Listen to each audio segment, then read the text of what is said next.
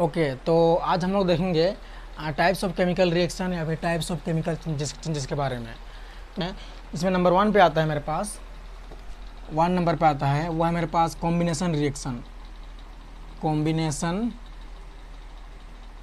Reaction जैसे कि यहाँ पे नाम से ही पता चल रहा है कि यहाँ पे कॉम्बिनेशन मतलब कोई सब्सटेंस होंगे, वो आपस में कंबाइन करेंगे मतलब कंबाइन करेंगे आपस में कंबाइन करेंगे।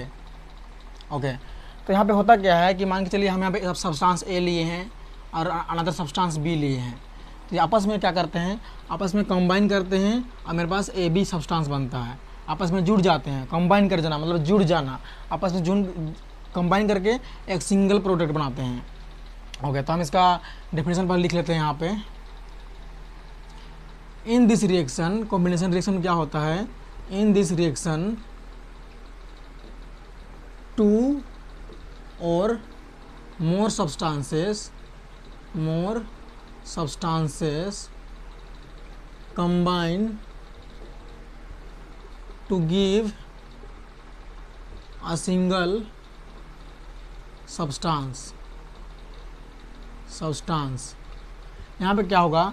या तो दो होंगे या फिर यहाँ पे तीन भी हो सकते हैं। जैसे ए लिए प्लस बी लिए प्लस सी लिए कंबाइन करने के बाद हमको क्या मिलेगा? ए बी सी का एक न्यू सब्सटेंस मिलेगा। तो यहाँ पे टू और मोर सब्सटेंसेस या तो दो हो सकते हैं मोर देन टू सब्सटेंस हो सकते हैं। इधर मेरे पास क्या है? ओरिजिनल सब्सटेंस है। ओरिजिनल सब्सटेंस है। और ये मेरे पास new substance new substance substance जिसको हम क्या बोलते हैं? प्रोडक्ट बोलते हैं। प्रोडक्ट बोलते हैं और जो इनिशियली लेते हैं केमिकल रिएक्शन में जो पार्टिसिपेट करते हैं, वो सब्सटेंस को हम लोग क्या बोलते हैं? इधर रिएक्टेंट लेते हैं। ओके तो एग्जांपल लेते हैं हम। जैसे मेरे पास एग्जांपल हो गया C plus O two carbon और ऑक्सीजन गैस कंबाइन करके हमको देगा सी ओ टू एक सिंगल सब्सटेंस बन रहा है मेरे पास। ये सॉलिड फॉर्म में था, ये मेरे पास गैसियस फॉर्म में था, आगे नहीं गैसियस फॉर्म में। हम हम, हमेशा हम सब्सटेंस का फ़िज़िकल स्टेट शो नहीं करेंगे, बस यहाँ पे दिखा दिए।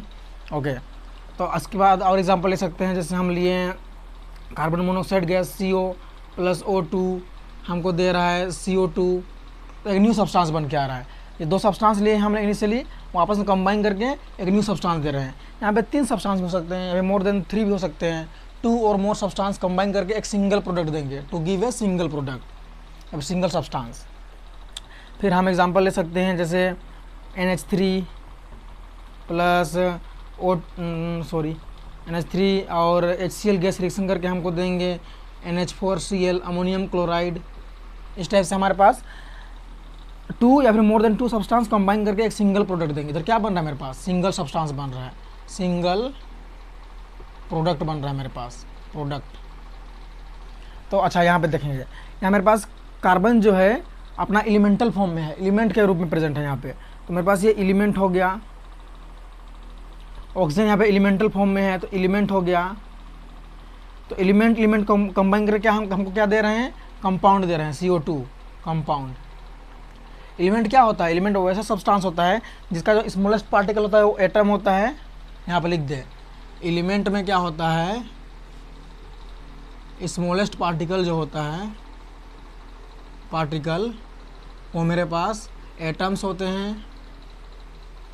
और कंपाउंड क्या होता है? कंपाउंड मेरे पास, इसका स्मॉलेस्ट पार्टिकल क्या होता है? स्मॉलेस्ट पार्टिकल फिर स्मॉलेस्ट यूनिट बोल दें। मेरे पास होता है U N I T unit हो गया, और मेरे पास मॉलिक्यूल के फॉर्म में होते हैं। मॉलिक्यूल के फॉर्म में होते हैं। तो यहाँ पे टू एलिमेंट्स कंबाइन करके हम क्या दे रहे हैं? कंपाउंड दे रहे हैं। यहाँ पे कंपाउंड मतलब ये इसका जो स्मॉलेस्ट यहाँ पे कार्बन और ऑक्सीजन के एटम आपस में कंबाइन करके मॉलिक्यूल फॉर्म बनाए हैं। मतलब CO2 में क्या है? मेरे पास CO2 के मॉलिक्यूल प्रेजेंट होंगे। C O CO2 CO2 combined form में प्रेजेंट होंगे। और यहाँ पे कार्बन के एटम प्रेजेंट होंगे। यहाँ पे O O two O two के मॉलिक्यूल प्रेजेंट होंगे। तो यहाँ पे ये एलिमेंट दो एलिमेंट आपस में कंबाइन करके हम क्या दिए कंपाउंड दे रहे हैं। इसके अलावा यहाँ पे ये क्या है? मेरे पास अगेन ये कंपाउंड है। यहाँ पे कार्बन मोनोक्साइड के मॉलिक्यूल प्रेजेंट होंगे। कंपाउंड है। फिर ये कंबाइन किया एलिमेंट ऑक्सीजन एलिमेंट के साथ एलिमेंटल फॉर्म में ऑक्सीजन प्रेजेंट है यहाँ पे। इसे कंबाइन किया। और हमको क्या दिया? सी ओ टू अगेन ये कंपाउंड दे रहा है हमको। कंपाउंड दे रहा है। फिर थर्ड में क्या है? ये मेरे पास अगेन एक कंपाउंड फॉर्म में है ये अमोनिया गैस फिर अगेन ये कंबाइन किया एच से, जो अगेन कंपाउंड फॉर्म में है। कंपाउंड स्टेट कंपाउंडल फॉर्म में है। हमको क्या दे रहा है? कंपाउंड दे रहा है। कंपाउंड दे रहा है। तो यहाँ पे क्या हो रहा है बेसिकली मेरे पास या तो जो न्यू सब्सटेंस कंबाइन करेंगे टू और मोर सब्सटेंसेस जो रिएक्शन में कंबाइन कर रहे हैं, वो या तो एलिमेंट एलिमेंट का कॉम्बिनेशन हो सकता है एलिमेंट कंपाउंड का कॉम्बिनेशन हो सकता है कंपाउंड कंपाउंड का कॉम्बिनेशन हो सकता है, और हमको क्या देंगे? कंपाउंड देंगे जो रियल प्रोडक्ट में। जो ओरिजिनल जो फाइनल प्रोडक्ट बनेगा वो कंपाउंड फॉर्म में आएगा। तो यहाँ पे हम और एक पॉइंट लिख सकते हैं कि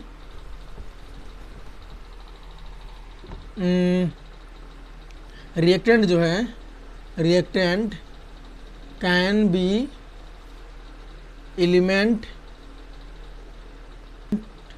और कंपाउंड्स कंपाउंड तो एलिमेंट हो सकते हैं, फिर कंपाउंड हो सकते हैं, और जो प्रोडक्ट बनेगा but product formed product will be be a compound जो प्रोडक्ट बनेगा मेरे पास न्यू सब्सटेंस बनेगा वो मेरे पास क्या बनेगा? कंपाउंड ही बनेगा। इधर भले हम एलिमेंट एलिमेंट ले ले कंपाउंड एलिमेंट ले ले, या फिर एलिमेंट कंपाउंड या फिर कंपाउंड कंपाउंड का कॉम्बिनेशन ले ले, जो न्यू सब्सटेंस बन के आएगा मेरे पास, वो कंपाउंडल फॉर्म कंपाउंड ही बन के आएगा। ओके तो ये था हमारे पास कॉम्बिनेशन रिएक्शन तो हम आगे सेकेंड रिएक्शन पे जाते हैं। वो है मेरे पास decomposition reaction decomposition reaction okay तो यहाँ नाम से पता चल रहा है कि डिकम्पोज होना मतलब and decomposition means breaking breaking up substance जो लेंगे इट विल ब्रेक अप मतलब वो ब्रेक कर जाएगा.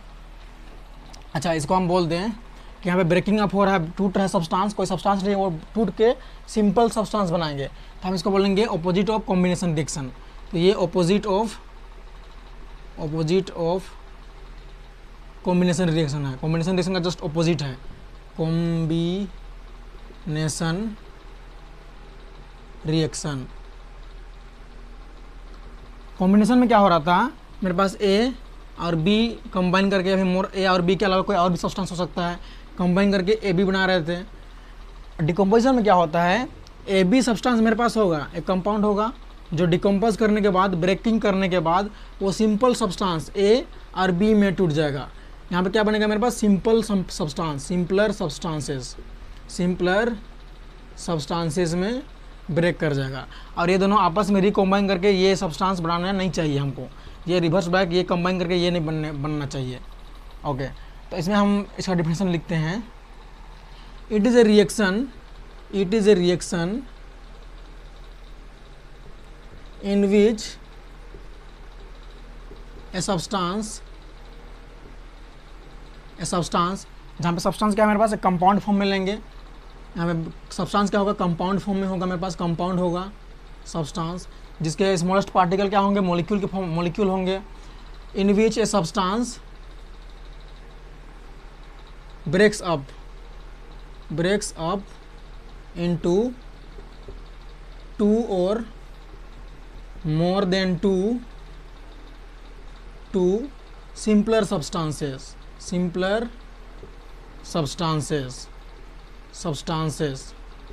When given some amount of energy, या फिर इसमें हम ऐड कर सकते हैं, when some energy is given to it.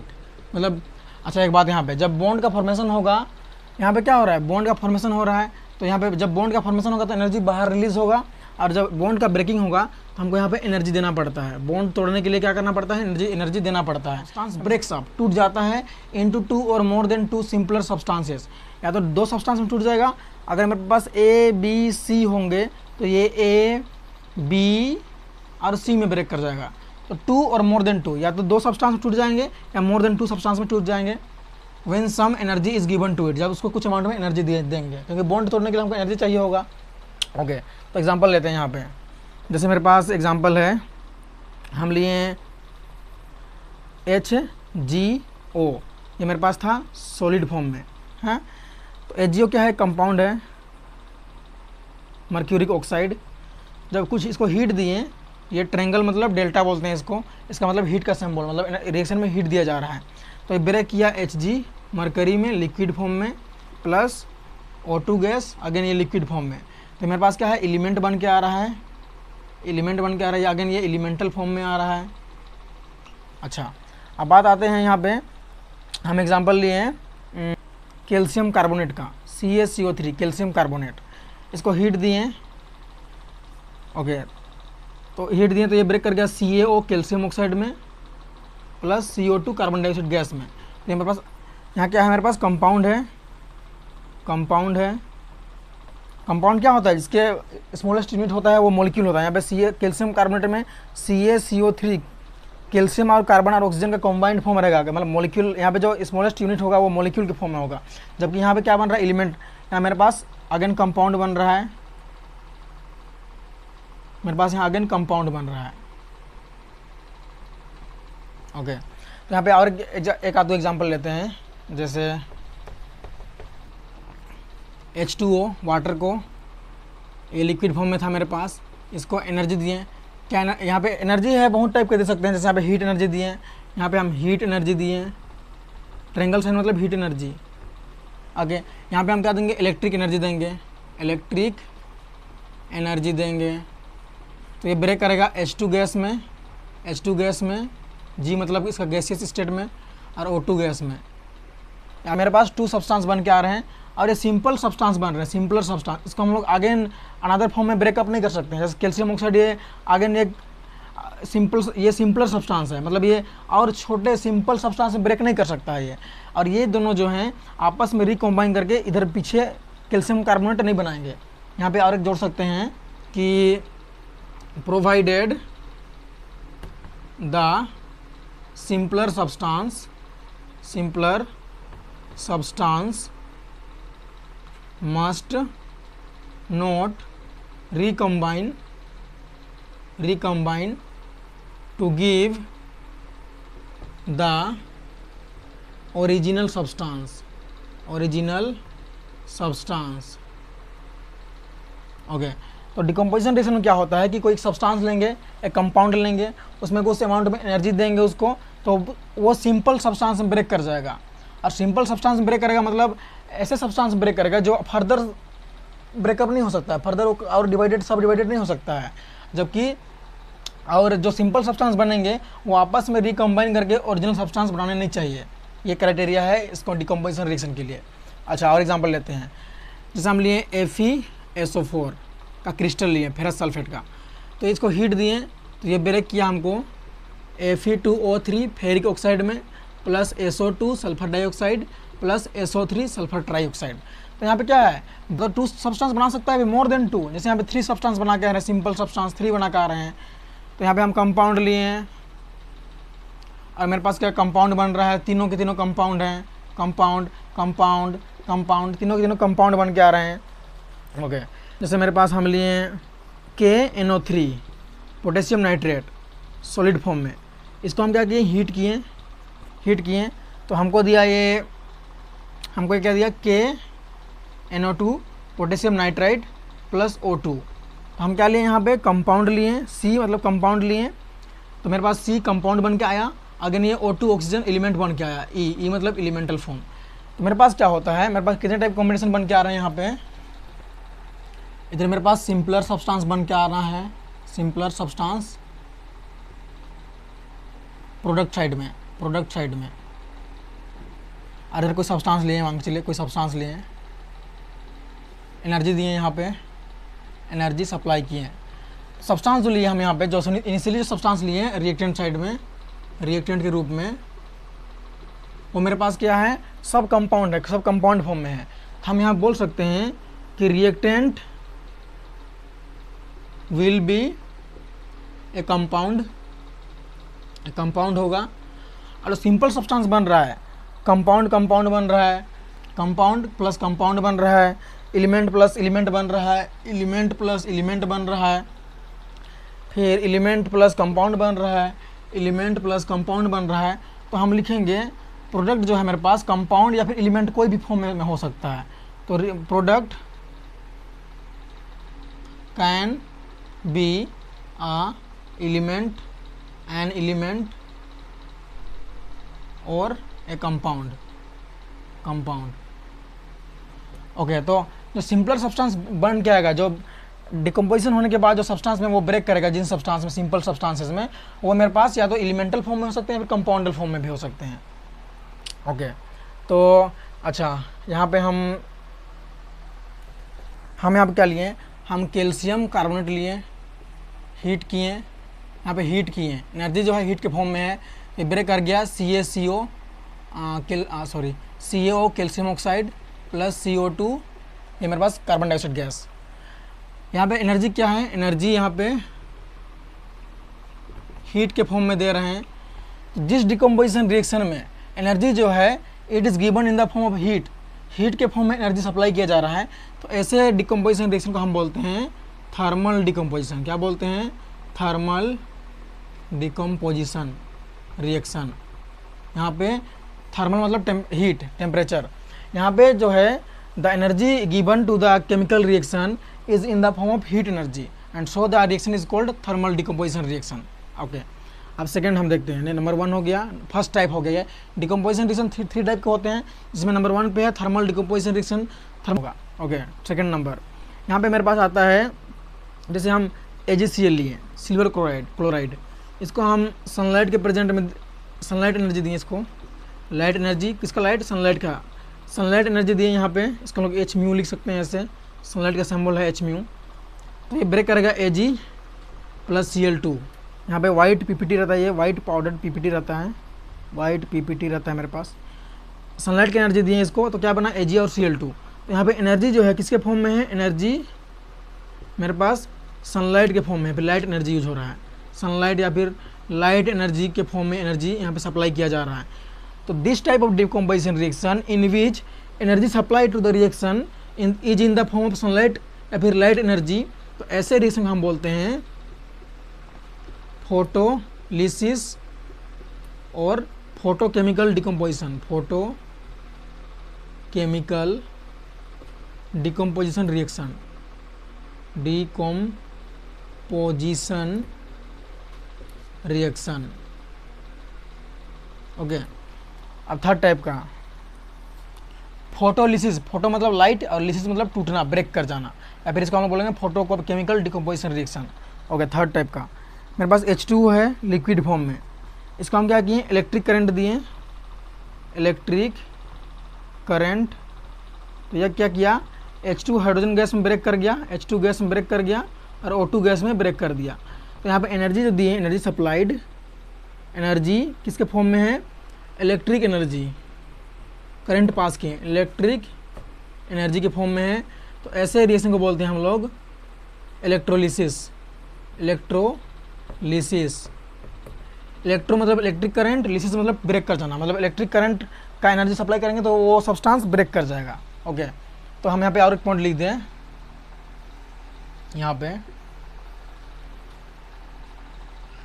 Decomposition reaction में in decomposition reaction the energy supplied, energy given या supplied to the reactant.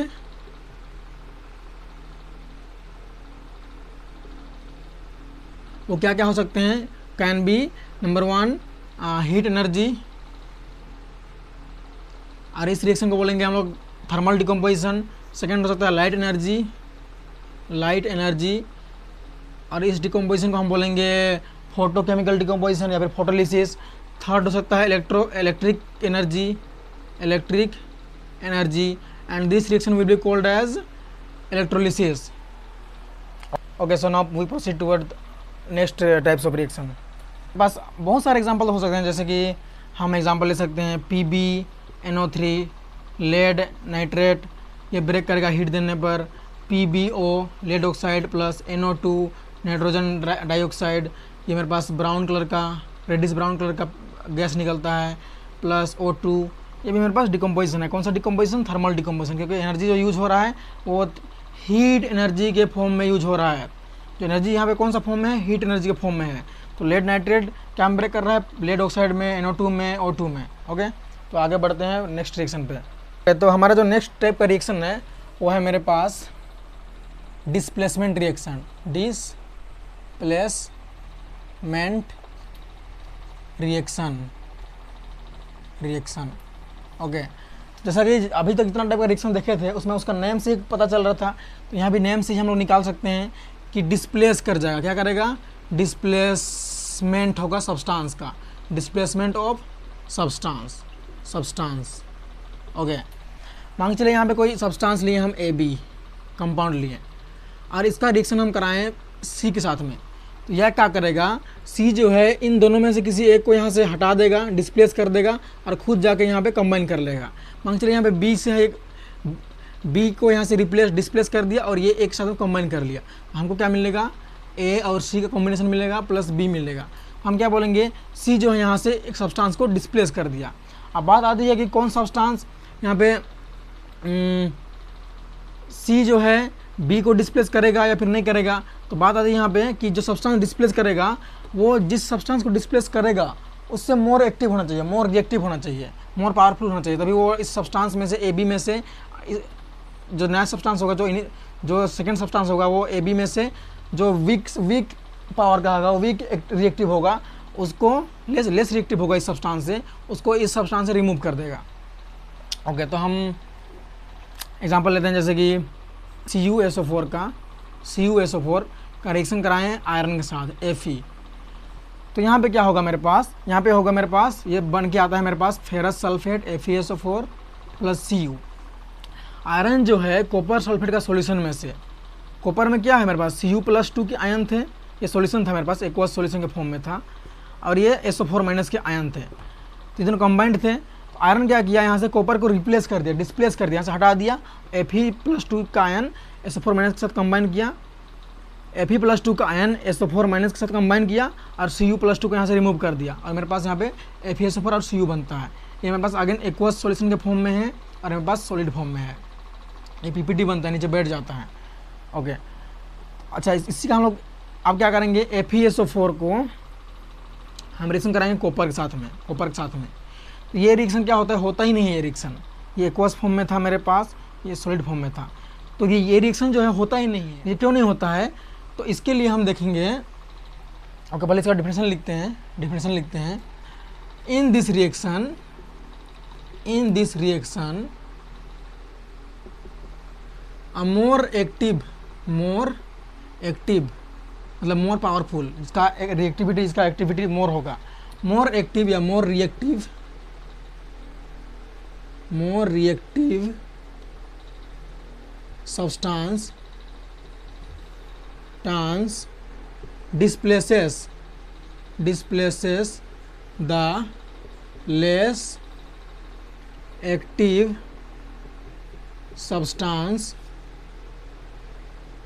from its aqueous solution aqueous solution मतलब जो सब्सटेंस लेंगे वो वाटर में डिजोल्व करके एक सोल्यूशन बनाया, के फॉर्म में रहेगा। तो यहाँ पे ए कॉपर सल्फेट को हम लोग क्या किए हैं? वाटर में डिजोल्व करके एक सोल्यूशन बनाए हैं सी यू एस का सोल्यूशन बनाए हैं। तो एक्वस सोल्यूशन यहाँ पे एक्वस सोल्यूशन के फॉर्म में यह रहेगा। तो क्या करता है? आयरन जो है कॉपर से मोर एक्टिव है मोर रिएक्टिव है मोर एक्टिव मेटल है।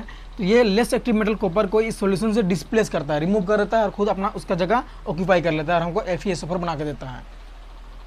ओके और जबकि यहाँ पे क्या है? कॉपर जो है मेरे पास आयरन से लेस रिएक्टिव है आयरन यहाँ पे कॉपर से मोर रिएक्टिव है। अच्छा यहाँ पे हम लिखते जाते हैं।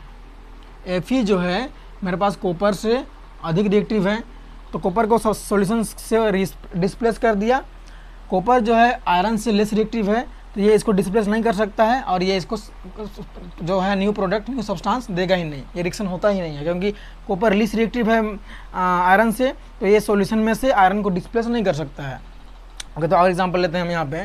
जैसे हम C U S O four reaction करता है आयरन साथ में, और हमको देता है F E S O four का सॉल्यूशन प्लस सी यू और एग्जांपल लेते हैं, हम लिए C U C L two copper chloride plus P B lead से रिएक्शन कराएँ तो हमको ये दिया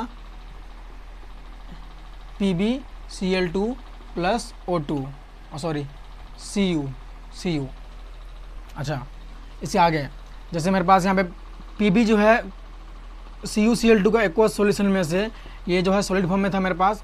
सॉल्यूशन में से क्या किया? कॉपर को डिस्प्लेस कर दिया। मतलब क्या हुआ? पी जो है कॉपर से मोर रिएक्टिव है। तो पी जो है मेरे पास कॉपर से मोर रिएक्टिव है। ओके फिर आगे देखते हैं। फिर मेरे पास और एग्जांपल लेते हैं, जैसे H two S O four का रिएक्शन कराए, जिंक के साथ में, जिंक के साथ में हमको दिया Z N S O four plus H two gas यहाँ पे बाहर निकला। एच टू गैस यहाँ पे बाहर निकलता है। एरोसिन का मतलब गैस का फॉर्मेशन होकर वो बाहर निकल जाता है रिलीज़ हो जाता है वहाँ से। तो यहाँ पे हम बता सकते हैं कि जिंक जो है, sulphuric acid dilute sulphuric acid में से हाइड्रोजन को डिस्प्लेस कर दिया। मतलब जिंक जो है, वो H2 से मोर रिएक्टिव है। इसके अलावा H two S O four react करता है मैग्नीशियम के साथ में। और यहाँ पे मैं हमको देता है M G S O four plus H two gas बाहर निकलता है। ओके तो मैग्नीशियम जो है हाइड्रोजन से मोर एक्टिव है। हाइड्रोजन से मोर एक्टिव है magnesium. More active than hydrogen gas okay फिर और एग्जांपल ले सकते हैं, जैसे हम लिए C U S O four copper sulphate को रिएक्शन कराए जिंक के साथ में। तो कॉपर को रिप्लेस डिस्प्लेस कर दिया, हमको दिया Z N S O four plus C U okay इस टाइप से हमारे पास क्या आ रहे हैं? हमारे पास एक एक ऑर्डर बन रहा है कि कौन, हम लोग को पता चल रहा है कि कौन सा मेटल किस किस, किससे अधिक रिएक्टिव रिएक्टिव है और किससे कम रिएक्टिव है। हमको ये पता चल रहा है। तो हम इस मेटल को हम किसी भी रिएक्शन में हम देख के कैसे पता करेंगे कि ये डिस्प्लेस कर सकता है या फिर नहीं कर सकता है किसी पार्टिकुलर सॉल्यूशन में से एक सब्सटेंस को। तो इसके लिए हमारे पास है एक मेटल रिएक्टिविटी सीरीज़ मतलब मेटल रिएक्टिविटी सीरीज़ एक्चुअली होता क्या है कि मेटल जो है उसका कौन मेटल कितना रिएक्टिव है? उसके ऑर्डर पे मेटल को एक एक, एक सीरीज़ में रखा गया है डिक्रीजिंग ऑर्डर पे। उसका उसको हम लोग बोलते हैं मेटल रिएक्टिविटी सीरीज़ ओके तो उसको देखते हैं हम लोग। अच्छा तो मैं यहाँ पे लिख दूँ। मेरे पास क्या था? आयरन जो था मेरे पास कॉपर से अधिक रिएक्टिव था। जिंक जो था कॉपर से अधिक रिएक्टिव था। एमजी जो था एच से अधिक रिएक्टिव था।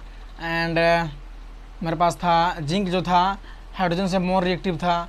फिर पीबी जो था कॉपर से मोर रिएक्टिव था। इस टाइप के पे मेरे पास हमको पता, इस एग्जांपल जो भी लिए थे, उससे हमको यही पता चला था कि ये सब्सटेंस इनसे अधिक रिएक्टिव है। तो अभी हम देंगे यहाँ पे metal reactivity series reactivity series okay तो ये क्या है? मेटल का एक सीरीज़ होता है। हम उसको लिख दे पहले। Potassium sodium calcium magnesium aluminium, zinc, iron, PB, lead, hydrogen, फिर copper H G gold A G A U P T ये हमारे पास क्या है? मेटल का रिएक्टिविटी सीरीज़ है। मतलब मेटल जो है, अपने रिएक्टिविटी कौन कितना रिएक्टिव है, कितना पावरफुल है, कितना रिएक्शन शो कर कितना रिएक्टिव शो करेगा अपना? उसके ऑर्डर पे डिक्रीजिंग ऑर्डर पे decreasing order of the reactivity reactivity of metal तो मेटल को उसके रिएक्टिविटी के डिक्रीजिंग ऑर्डर पे अरेंज सजाया गया है अरेंज किया गया है, इसी को हम लोग बोलते हैं मेटल रिएक्टिविटी सीरीज़ तो यहाँ पे क्या है, इधर ऊपर से नीचे आने पर मेटल का रिएक्टिविटी डिक्रीज हो रहा है मतलब मेटल जो है लेस रिएक्टिव होता जा रहा है. मतलब इधर क्या है मेरे पास लेस रिएक्टिव मेटल मिलेंगे लेस रिएक्टिव मेटल मिलेंगे, और हमको इधर क्या मिलेगा मोर एक्टिव मोर एक्टिव या फिर मोर रिएक्टिव बोल दें मोर एक्टिव मेटल मिलेंगे. Okay okay. तो यहाँ पे क्या होता है यहाँ पे हाइड्रोजन को हम लोग बेसिक मेन मेन इसको हम लोग मेन पॉइंट मांग चलते हैं। तो यहाँ क्या होता है? हाइड्रोजन से ऊपर के जो भी सब्सटेंस हैं, वो नीचे हाइड्रोजन से नीचे वाले सब्सटेंस को डिस्प्लेस कर सकते हैं। एक्चुअली में होता क्या है कि ऊपर ऊपर में जो भी सब्सटेंस लाई करता है, वो अपने से नीचे वाले सब्सटेंस को उसके सॉल्यूशन में से डिस्प्लेस कर सकता है। जैसे यहाँ पे हम लिए थे C U S O four लिए थे, उसको रिक्शन कराए आयरन साथ में आयरन कॉपर को डिस्प्लेस कर दिया और हमको दिया F E S O four plus C U तो क्या है?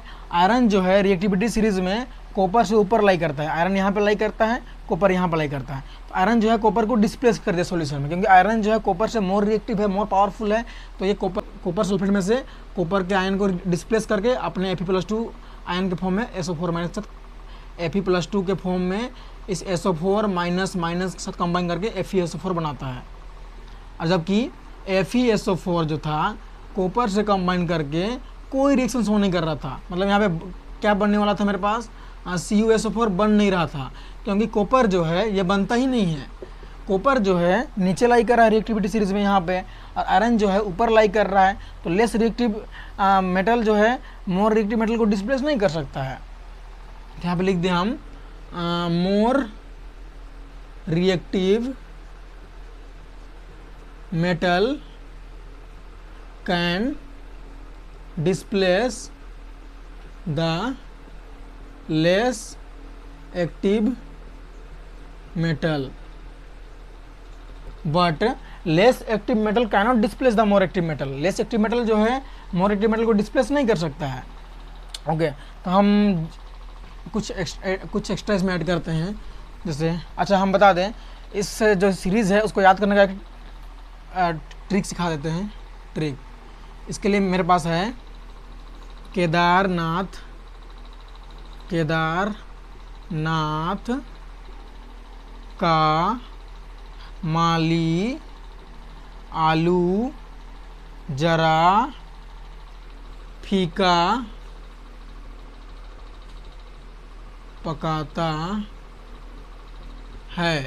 फिर इसके बाद हम बोलेंगे हाई कोर्ट है आप का तो इसमें क्या है? ये इसको लर्न करने का ट्रिक है। हाई केदारनाथ का माली आलू जरा फीका पकाता है। हाई कोर्ट है आपका। केदार के से potassium N A sodium, calcium M से मैग्नीशियम ए एल से एल्यूमिनियम जे से जेड से जिंक एफ़ ई से आयरन पी से लेड एच से hydrogen again high court high से एच से हाइड्रोजन को ही शो कर रहा है। फिर यहाँ पे यहाँ से अलग कर देते हैं। हाई कोट है आप का। हाई, हाइड्रोजन मतलब high coat C U coat H से एच से गोल्ड एच जी आप। ए ए पी आप से ए से A G A U P से पी टी प्लेटिनम ओके. तो यहाँ पे हम और एक एग्जांपल ले लेते हैं। जैसे यहाँ पे लेते हैं हम।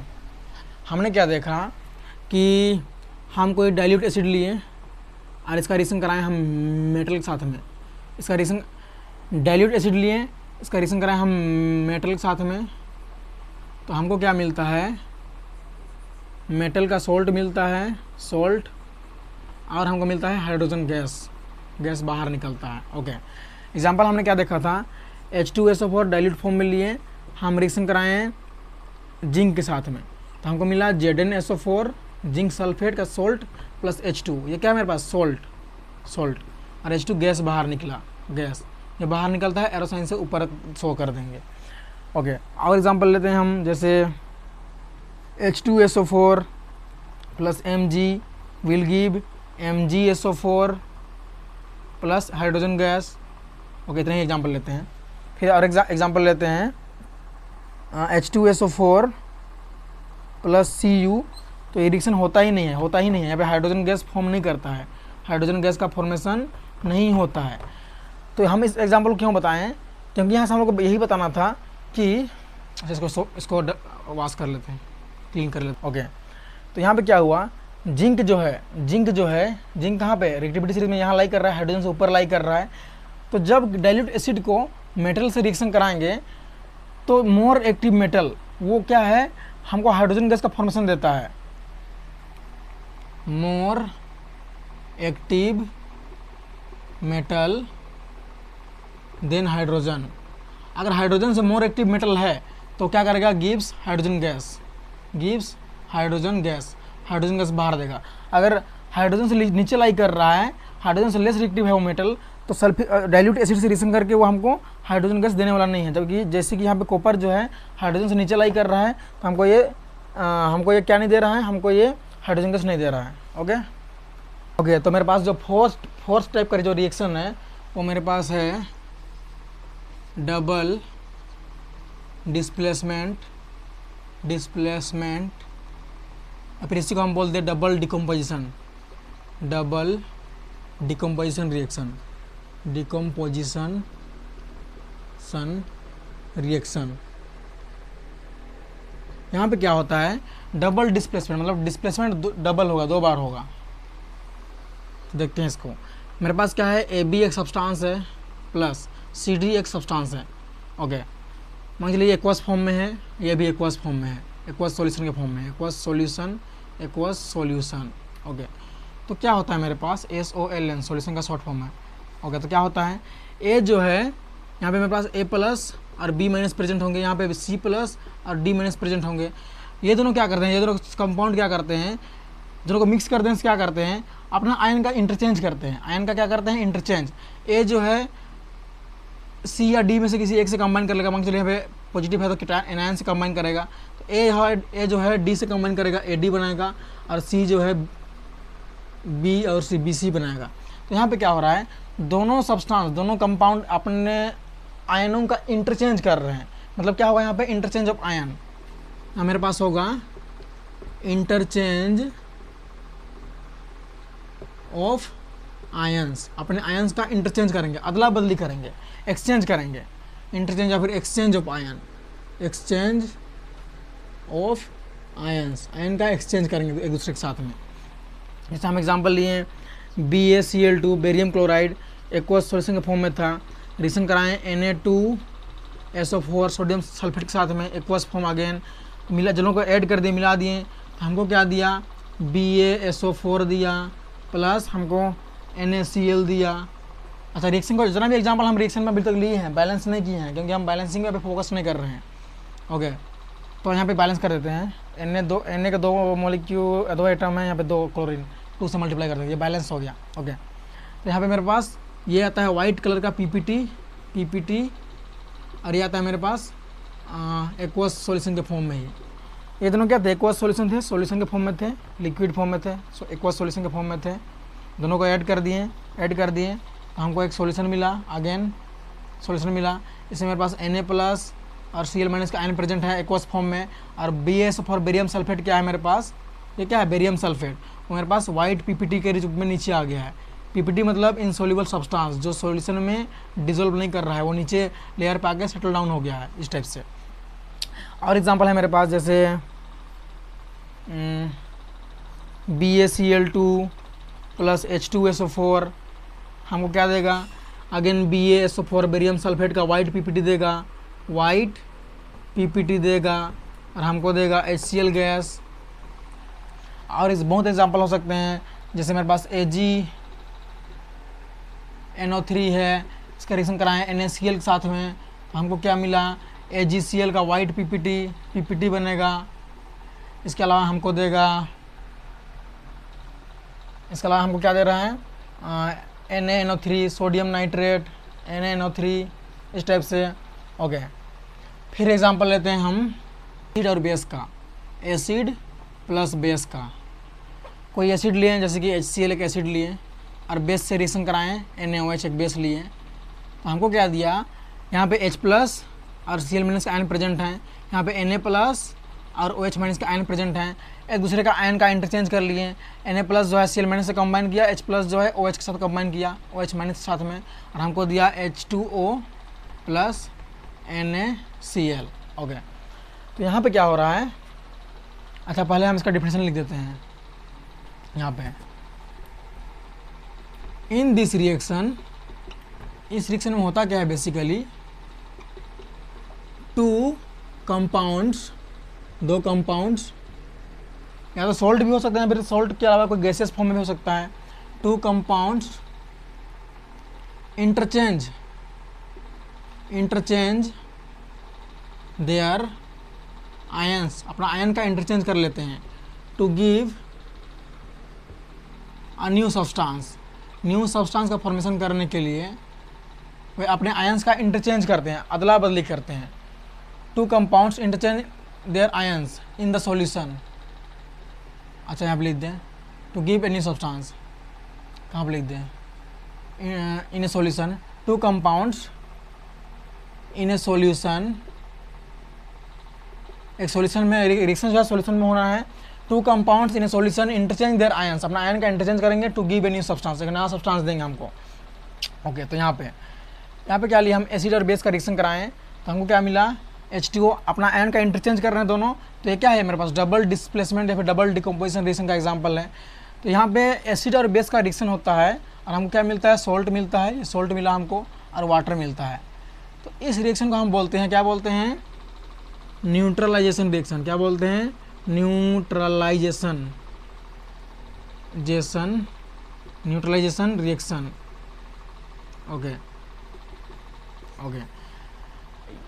ये क्या है? न्यूट्रलाइजेशन का रिएक्शन का एग्जांपल है, और ये क्या है? डबल डिकम्पोजिशन रिएक्शन यहाँ पे हो रहा है। डबल डिस्प्लेसमेंट रिएक्शन यहाँ पे हो रहा है। इसके अलावा, जितना भी रिएक्शन हम लोग कभी एग्जांपल में लिए हैं, जैसे इन सब में एग्जांपल में तो क्या हो रहा है यहाँ पे? पीपीटी का फॉर्मेशन हो रहा है। पीपीटी फॉर्मेशन हो रहा है। और जिस रिएक्शन में पीपीटी मतलब प्रिसिपिटेट इंसॉल्युबल सब्सटेंस ये क्या है मेरे पास? इंसॉल्युबल सब्सटेंस सॉल्यूशन में डिजोल्व नहीं करेगा। यहाँ पे बेरियम सल्फेट इस सॉल्यूशन में डिजोल्व नहीं कर रहा था, नीचे आके लेयर में सेटल डाउन हो जा रहा था। तो यहाँ पे क्या हो रहा है? पीपीटी फॉर्मेशन हो रहा है इंसॉल्युबल सब्सटेंस का फॉर्मेशन हो रहा है। तो ऐसे रिएक्शन हम लोग बोलते हैं precipitation precipitation reaction reaction okay तो इसके बेसिस पे हम लोग यही बोल सकते हैं कि डबल डिस्प्लेसमेंट रिएक्शन और double decomposition reaction can be of two types number one neutralization reaction in which the reaction is taking place between acid and base and second one is precipitation reaction in which there is the formation of precipitated takes place मतलब double displacement reaction में हमारे पास दो type हो सकते हैं। पहला जो है एसिड बेस का रिएक्शन करके हम लोग न्यूट्रलाइजेशन रिएक्शन को ला सकते हैं। सेकेंड जो है पीपीटी फॉर्मेशन हो रहा है तो हम लोग प्रिसिपिटेशन रिएक्शन यहाँ पे हमारा डबल डिकम्पोजिशन रिएक्शन के अंडर में आता है। तो डबल डिकम्पोजिशन न्यूट्रलाइजेशन रिएक्शन के रूप में भी हो सकता है, या फिर प्रिसिपिटेशन रिएक्शन के फॉर्म में भी हो सकता है। इस टाइप से हमारे पास दो टाइप का डबल डिकोपोजिशन या डबल डिस्प्लेसमेंट रिएक्शन बन के आ रहा है। ओके सो आज का लेक्चर में इतना ही okay so see you thank you